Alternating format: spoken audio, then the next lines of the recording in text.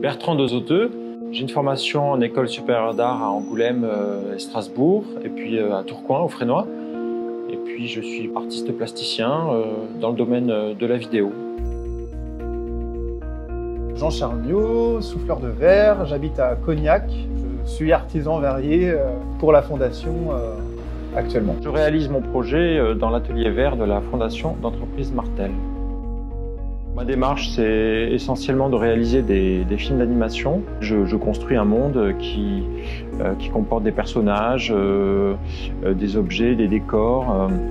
J'ai eu l'idée de prélever un de ces objets, qui est, une voiture, en sorte de Cadillac revisité, pour la réaliser en verre. Il se passait aussi de, de la technologie, enfin en tout cas du numérique, et c'était intéressant de voir finalement le processus de travail qu'on a enclenché avec Jean-Charles pour voir selon lui, selon ses gestes, ses temps de fabrication, l'aspect en effet de gestion euh, du verre qui est une matière euh, presque vivante en fait. On est parti sur un projet de réaliser euh, un élément important du dernier film qui sera présenté à la Fondation Pernod Ricard lors d'une exposition dont je suis le commissaire et artiste invité. En tout cas, en, dans la rencontre avec Jean-Charles Nio, il y a eu comme ça un échange assez, assez fertile.